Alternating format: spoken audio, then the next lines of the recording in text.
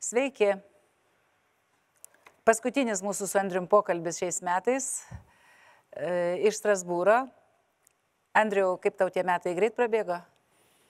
Nu, taip, sakykime, įdomiai prabėgo. Įdomiai, man tai greitai, labai greitai. E, bet e, Strasbūrė, kaip visada, vyksta plenariniai posėdžiai ir šiandien mes pabandysim pakalbėti e, dviem temom. E, vieną papasakosim apie Strasbūro kai kurias temas, aišku, visko neįmanoma, tose, kuriuose mes daugiau konkuliavom.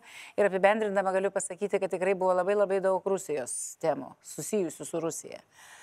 Pati svarbiausia tai turbūt e, Navalnui įteikta Sakarovo premija ir dėl to buvo labai daug įvairių diskusijų, pokalbių, ne tik tai e, plenariniai, bet ir galima buvo pasikalbėti e, su čia atvykusiais jo komandos nariais, su jo dukra. Ir antras dalykas, aišku, kad mes neapeisim praėjusios savaitės, kuri dabar jau atrodo bėgo, prabėgo, bet buvo tikrai labai įtempta. Savaitės Lietuvoje. Savaitės, norėjau pasakyti, savaitės Lietuvoje su šituo trileriu sudėtingu, kuris e, baigėsi, sakyčiau, na bent jau vat, šiam laikotarpiu gerai, teisingai, mes labai norėjom, kad tai baigtųsi, bet apie tai vėliau. O dabar apie šią savaitę. Taigi jau užsiminiau, kad pagrindiniu laikyčiau Darijos Navalnajos ir, ir, ir komandos, Navalno komandos čia buvimą, jos kalbą. Man atrodo, kad ten, aišku, visos komandos buvo įdėtas darbas, bet ir ji pati, kai jaunas žmogus, 20 metų, ir dar tokiom aplinkybėm kalbėti iš tokios tribūnos, kur mato praktiškai visas pasaulis ir, ir, ir Europa.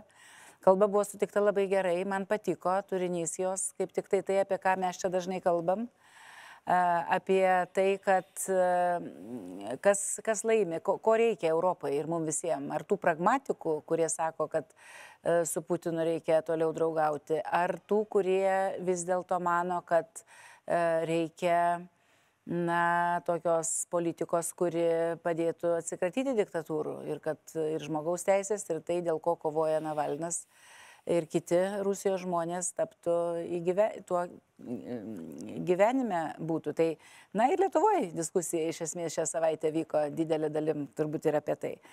Tai, Andriu, kadangi tu esi vis tiek Rusijos temoje vienas arba tiesiog pagrindinis mūsų lyderių Europos liaudės partijoje, tai pasakyk savo įspūdžius.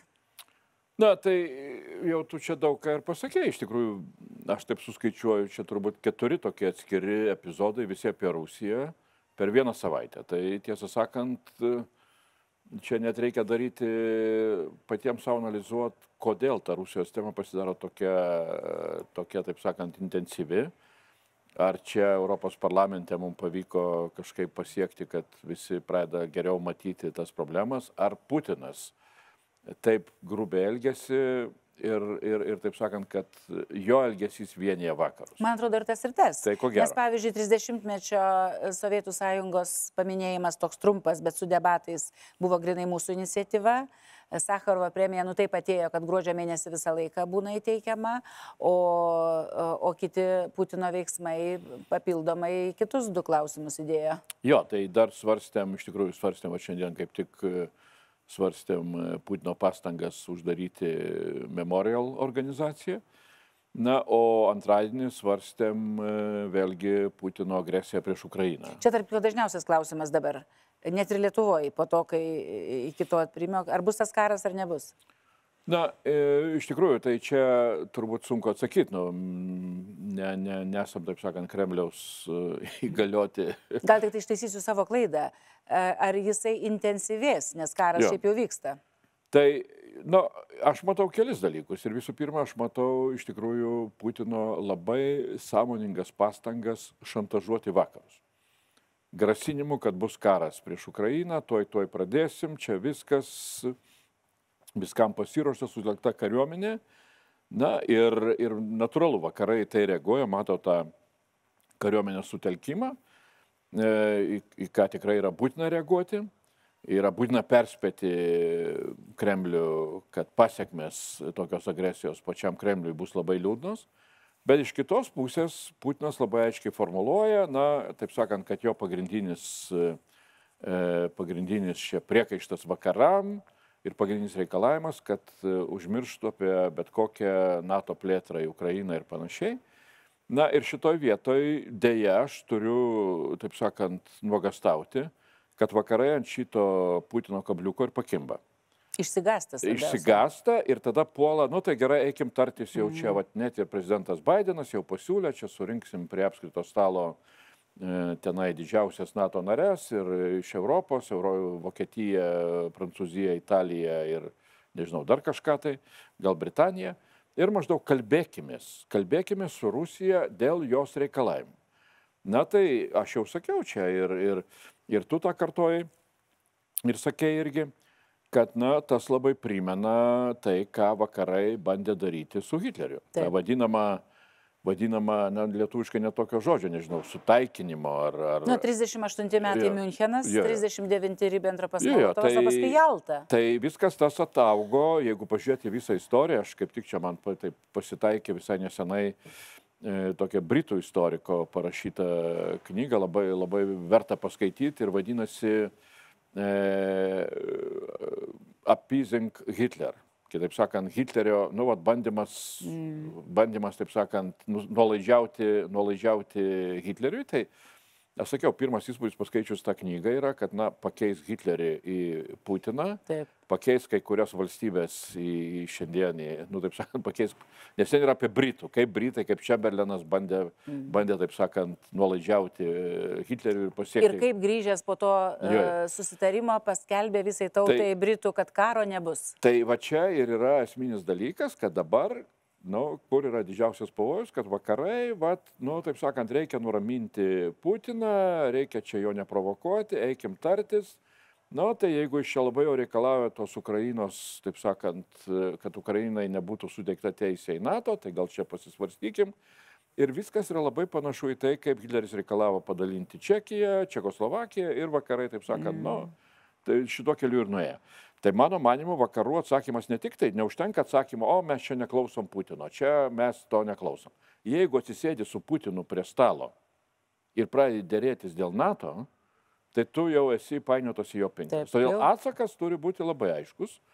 Vienas atsakas, kurį ES gali duoti, tai iš karto parodyti, kad integracija į ES tai pačiai Ukrainai yra žymiai labiau spartinama. Mes čia, čia aš jau ne, ne, neišsiplėsiu, mūsų yra įvairių siūlymų, kaip tą padaryti. Lygiai taip pat su NATO. Tas vadinamasis Membership Action Plan arba, arba pasirengimo narystėje planas, mano, mano, mano, mano įsimu būtų geriausias vakarų atsakas į visus Putino grasinimus. Tai mes čia taip matom, taip kalbam ir daug kur šią savaitę teko apie tai kalbėti abiem, e, bet ar tai realu? Aš pati, bet svabodai daviau interviu e, dėl to e, NATO reikalų, dėl to reikalavimų ir tikrai sakiau, gal taip per daug optimistiškai, kad kitoj pusėje nesiras Ribbentropo. Tikėtina. Skirtumas nuo 38 metų. Nu. E, bet, e, bet ar nesiras? Jo, tai čia keli dalykai reiškia. Tai, nu, ko, ko reikia iš vakarų iš tikrųjų. Tai ir ką mes bandom padaryti. Ir čia man, nu, man tai atrodo, kad Lietuvos vaidmo galėtų būti ypatingai svarbus. Uh, ir čia ne apie vertybinę, nevertybinę politiką, bet apie realią užsienio politiką ir ilgalaikę, kur iš tikrųjų reikia burti koalicijas tam, kad, na, iš tikrųjų Lietuva labai daug daro ir tos pačios Baltarusijos atžvilgių, ir ten ir amerikiečius pritraukia, tam reikia ir Lietuvos pastangų Taivano atžvilgių. Lietuva tikrai matoma labai ryškiai e, šitoje vietoje, bet šalia to, mano manimu, reikia pereiti ir į sekantį etapą ir, ir pradėti brėžti tam tikrų ilgalaikių ES vakarų politikų nukreiptų į šitą regioną tam tikras kryptis. Tai pavyzdžiui, jeigu neįmanoma dabar, o iš tikrųjų čia mes daug diskutuojam ir ginčiamės, jeigu neįmanoma Ukrainai suteikti narystės jau ES tokios labai iškios perspektyvos, čia tam yra visokių priežasčių, institucijos nepasirengia ir taip toliau, Tai reikia pastumėti visą integracijos procesą, pavyzdžiui, link integracijos į vieningą rinką. Kas yra tikrai yra įmanoma padaryti, tai nesukelia jokių institucinių pasiekmių, nu, taip sakant, pastumėti į Norvegijos eiti, kelią. eiti žingsniais tam tikrais. Žingsniais eiti ir tą ne daryti. Iš karto galutinio rezultato. E, Bet e, dabar žmonės mūsų klausydami sakys, kas iš to, kad jūs mums čia kalbat, reikia daryti. Tai, Tai- vat, mūsų darbas čia toks ir yra, tą ir norėjau pasakyti. Va, Ne, visą tai- savaitę ir praeina. Net ir kokios nors vakarienės, net ir pokalbiai, Ir, nebūtinai ir net mūsų pasiūlymai, dokumentai, pasiūlymai, va, tas pats, tu su tą, tuo- tą pačią pasiūlėm per Euronestą, kur čia man tenka vadovauti, pasiūlėm rytų, va, tik šią savaitę baigėsi svarbus įvykis, vadinamas rytų partnerystės samitas, kur dalyvavo ir, ir prezidentai visų, ar vadovai ES. Bet ar buvo postumis koks Ir nors? rytų yra postumis, pavyzdžiui, vat, nu, galiu pasakyti tik tai. 19 metais, vėlgi, mes čia pagimdėm tą idėją mūsų čia kabinetuose. Trijo. Pavarė, taip sakant, padarėm ją Euronesto, patvirtinom Euronesto rezoliuciją, kad reikia įkurti tokią trijo platformą. Tai yra Ukraina, Moldova ir Sakartvelo. Tarptų visų rytų partnerystės šalių turi būti išskirta ir jiems turi būti suteikta. Iš pradžių buvo dar tokio skepticizmo. Labai daug, buvo Daug. priešinių, buvo Taip. sakymas, kaip čia, kaip čia galima išskirti. Mm. Dabar jau tapo realybė. Tai va. jau dabar pripažinta deklaracija, jau pačios tos Sveikinimai. trys šalis jau, mm -hmm. jau labai stipriai užsivedė ir juda į priekį. Mes sakom, dabar joms suteikim va tą tokį norvegišką kelią, integruotis į bendrą rinką, kas suteiks labai daug privalumų šitom šalim, ekonomikos augimo ir taip toliau. Ir tą judinam. Tas juda, tas pamažu, bet pradeda judėti į priekį. Tvarkoj. Kiti metai bus dar sėkmingesni, gal tikėkime mums to įkrypti, bet vis tiek reikia aptarti ir tą karštąją savaitę, e, kuri baigėsi kol kas bent jau tuo, kad vyriausybė neatsistatydino. Mes abu esam Tevinės sąjungos prezidimo nariai ir nors ir tolokai nuo e, sūkurio paties, bet vis tiek šio laikinės priemonės leidžia būti ir šalia. Ir tikrai jaudinamės lygiai taip pat kaip ir daugelis čia mūsų besiklausančių. Prisipažinsiu, ir, ir tos naktis e, miego nebebuvo su tokiu miegu, kaip būdavo anksčiau. Ir, ir, ir tikrai labai, e, labai stengiamės įsigilinti į situaciją. Tai dabar žiūrint atgal, e, aš tai suprantu, kad kai kas čia kritikuoja, kam čia pasikarščiavo, kam čia kaip, bet žinai, gal mes nelabai jaučiam to viešo diskurso, tos viešos erdvės. Kai Ana trečiadienį pra- pradėjo birėti, rėdėti šitą sniego gniužtę su ta visa viešaja erdvė, tai atsidarius Facebookus ir internetus atrodė, kad jau viskas, dangus griūva. Kad jeigu 8 gruodžio nesustos e, tas e, tranzitas per Lietuvą trašų, tai vadinasi viskas. Išdavikai, vadinasi Amerika nusisuks, vadinasi išdavėm, vadinasi išdavystės, baisus kaltinimai ir galbūt iš tikrųjų tokioje situacijoje pasakyti, kad, mes, e, kad ministras yra pasiruošęs prisimti atsakomybę, kas paskui išvirto į atsistatydinimus, buvo galbūt vienintelis kelias - sustabdyti tą sniego gniužtę.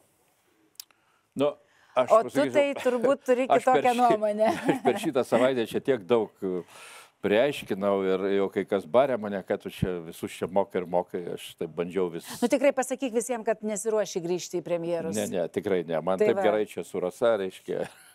tai čia vienas dalykas. Dabar antras dalykas, na, kaip čia man mm, pasakyti, reiškia, aš pasižymiu tokiu kartais humoro jausmu, nu, kai kas vadina britų humoras, kurį tik aš pats po to suprantu. Ir tai čia... Nu ir mes jau pripratę. Tai aš čia perspėju. Bet žinai, yra perspėję, Lietuvoje nelabai galima humorą uh, Ne, tai naudoti politikoje. perspėju. Aš perspėju dėl to, kad čia Taip. iš to žanro dabar Taip, mano bet jau dabar jau pasakyk ir mano baigsim tada. pasisakymas. Taip, tai, tai tiesą sakant, aš kartais galvoju, gal čia viskas buvo taip labai gerai suplanuota. Nemanau. Tai nes, Taip išėjo. Jo, nes tu pasižiūrėk, nu, dabar įsivaizduokim, kad būtų gruodžio 8, atsibundam, priimti sprendimai, tranzitas sustoja. Taip. Taip, nebeveža. Karbauskis, e, visi čia kiti, reiškia, rėktų, kliktų, kokie nuostoliai, Dieve mano, viskas. Jūsų vertybinė politika žlugo, atnešė nuostolius. Jo, nuostoliai viskas, čia toj čia nebėra krovinių, nieko nebėra, uostas sustojo, geležinkelė nebevažiuoja, bėgiai užrudis čia. Taip. Būtų kliksmo tiek, kad čia galvotum, Dieve mano, gal tikrai blogai padarė. Taip. Dabar visi šaukia, tai kodėl nenutraukėt tranzito gruodžio 8? Karbauskis čia žada interpeliacijas ir taip toliau. Tai- Nu tai aš galvoju, iš tikrųjų, gal čia buvo labai gudrus strateginis planas, taip sakant, priversti opoziciją, prezidentą, visus čia ekspertus, e, taip sakant, labai griežtai pasisakyti, kad turi būti nutraukta čia pat ir vietoje, Tai dabar jau vyriausybė labai aiškiai pasakė, nutrauksim ten ne nuo gruodžio 8, nuo ten nežinau kada. Kada pavyks? Sausio 1 ar ten sausio 15. E, Ministrai vietoj, vyriausybė pasiruošusi toliau dirba. Tai genialus planas. Jo. Gerai, planas, ne planas, bet vis tiek noriu palinkėti ypatingai mūsų prezidentui. Uh, iš tikrųjų, nu, yra dar šansų tapti vienijančių, jungiančių, neskaldančių ir nebeaštrinkit prezidentę padėties. Uh, tuo labiau, kad uh, visiškai aišku, kad jūs pats atstovaudamas Lietuvai vadovų taryboje E, turėjo atidėti žymiai daugiau pastangų, kad tos sankcijos, ES sąjungos sankcijos tam Belkalijui būtų įgyvendintos, to nebuvo. Tai nebepriekaištaukim vieni kitiems, iš tikrųjų reikia daug ką padaryti ir to žmonės laukia iš mūsų. Bet aš noriu palinkėti, kad tie metai kiti būtų tokie. Ypatingai tam kontekste, apie kurį kalbėjom pirmoji mūsų daly. Andriau, palinkėkim ir viskas. Atsisveikinam. Nu, aš labiausiai tikiuosi, kad Rasa Juknevičinė man irgi nebepriekaištaus. Tai. Nepažadu to, nes, nu, pasistengsiu. Tai, jo, tai gerai, tai su tokia geresnė nuotaika tikrai baigėm šitos metus. Visiems gražių šventų gražių kalėdų, švent... niekas jų netėmė, netims ir šves, šventėm ir švesim ir gerų naujų metų. To paties visiems linkiu.